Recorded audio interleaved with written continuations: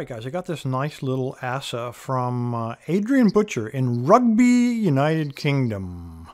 Uh, commercial lock, I don't believe that. In, I got a very, very short note just telling me what it was, but he didn't say anything about having uh, uh, custom pins or anything in it. There's what our bitting looks like, which is pretty normal for ASSA locks. These are, even though it's only a five pinner, I really expect this is going to be quite a challenge to get into. Uh, particularly if they got those nasty ASSA serrated pins in there. Oh my God. Anyway, let's give it a try. See what we got. Um, I'm going to clamp it up here and I'm going to use, because we got the actuator there, I don't want to squeeze it in the rubber jaws and pinch that actuator. So I'm just going to squeeze, put a little rub, piece of rubber around there so that it'll compress on the lock before it compresses on the, uh, on the actuator itself. Um, I am going to put a mark on it. Let's see if we got any flop on it first. Maybe not that one. Try that one. That'll work. Uh, there is no flop, it doesn't seem like. Very little. So I'm going to pick it, I guess, clockwise. And I will put a mark. Try to keep it neat, Bill. Keep it right pretty much in the center there. So if we get hung up on something cool, we should be able to see it. Now I know that went in there. There we go. All right, it is a kind of a thin keyway, so I'm going to take a 13 thousandth from Rare Elements. All right, let's see what we got. I'm going to use heavy tension to begin with and find that first binder.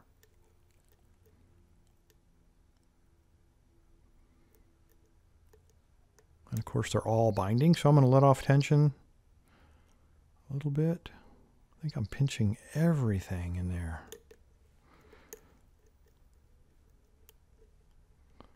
There it is. Pin 5. I got a little click off of him.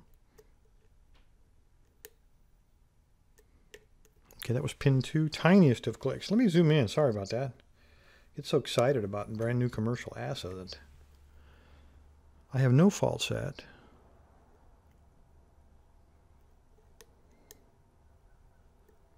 Still have moderate tension on it. I'm trying to actually trying to bully it a little bit. But that's not working. Okay, that was pin four. Got a little click. That was three. Little click. Two, I felt a very slight turn on the core, but looking at that mark, I can't really see anything on it. That was one.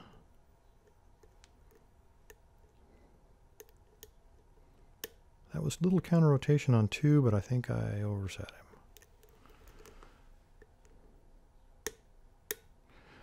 Right, that was five.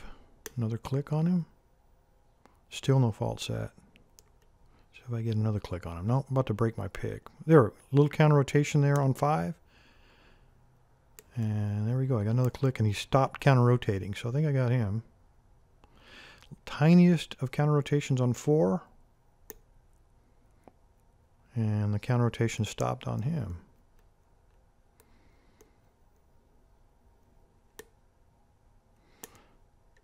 A little bit of counter rotation on one there.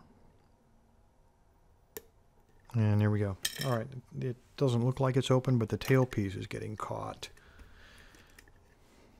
Let me zoom out so I don't screw this up. All right, tail piece was getting caught in the vise. And see if I can find, which one was I using? There we go. So it is open. I think I think I'm going to take it apart. Even though I'll probably screw up those those two uh, C rings, I can I can get them on later. It won't be real neat, but I think I can probably do it. So let's go ahead and take advantage of this. It's a gift lock, right? All right, I have. Those are too small. Let's try this guy. See if the, no, those tips are never going to go in there. See if these will go in there expand that for me without breaking the tips of my pliers off. It's going to be close.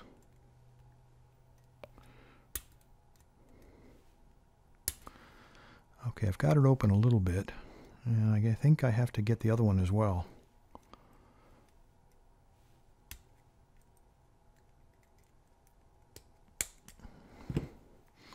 Now I think I can grab it with pliers. And that's exactly what I'm going to do. Come out of there. It is a little softer than steel. I think these are probably aluminum. But unlike some other guys, I just don't have the technique for gutting these European locks.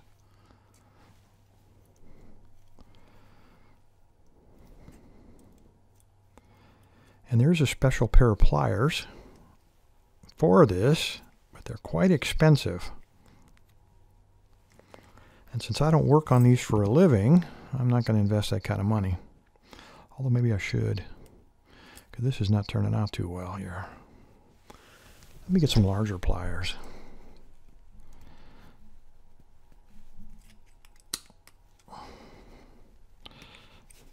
Okay, there we go. There's one.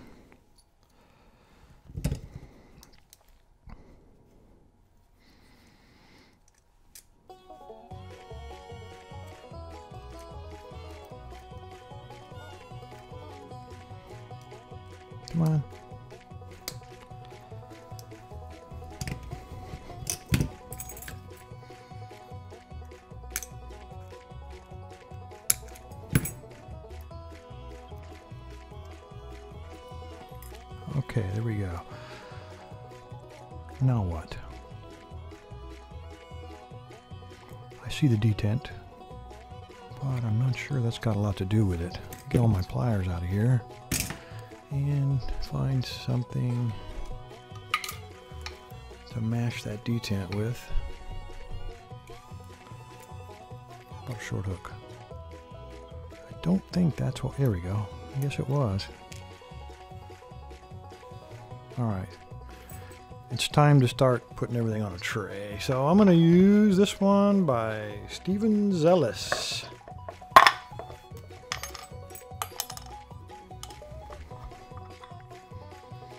All right, come out of there, you. I don't think. There we go. That's how that comes out. Now we can get our follower in there. We do have a key.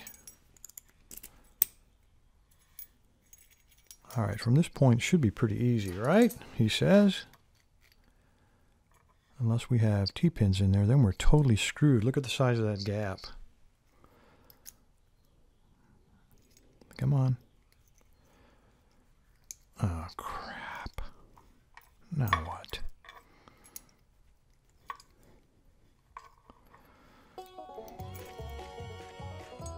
No idea. All right. Go to the backup plan. All right, first let's take the pins out. There's two.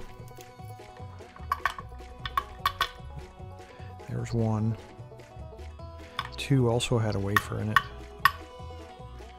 Pin three.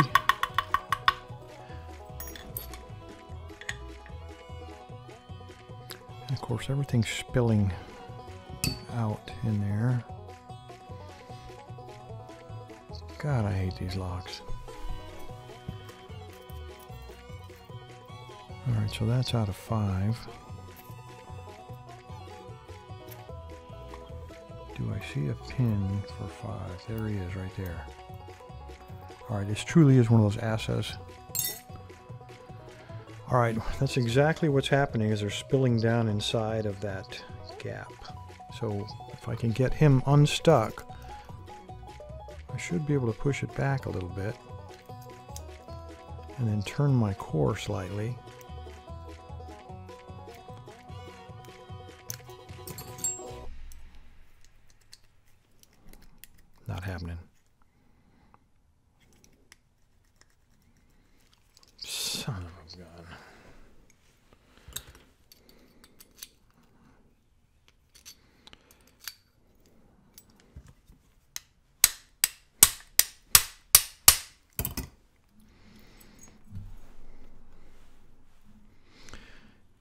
There's our key pin.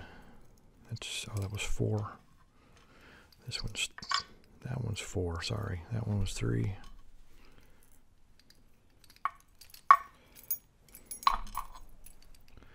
How could I screw this up worse? And the only explanation is to break crap on the inside. These are all ASSA pins, guys. This lock is probably not going back together. I got no idea. The sequence. All right, pinning doesn't matter at this point. I got one more pin caught in there.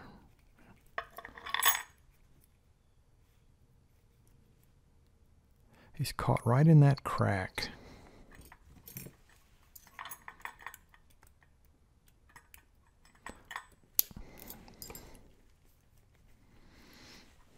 All right.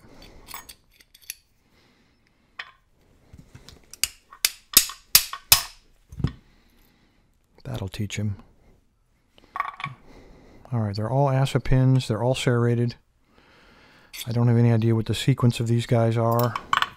I don't know how I could possibly have screwed this up any worse than I did. But I'm sure I could find it. One of these was probably standard. Uh, guys, I got to tell you, no clue. No clue.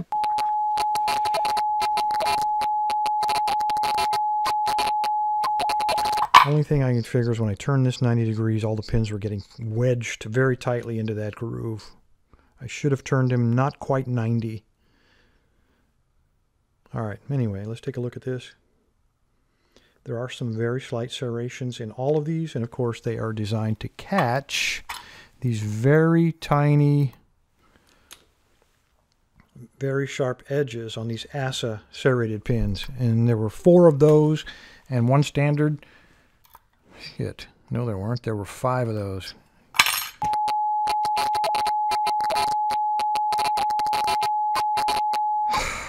God.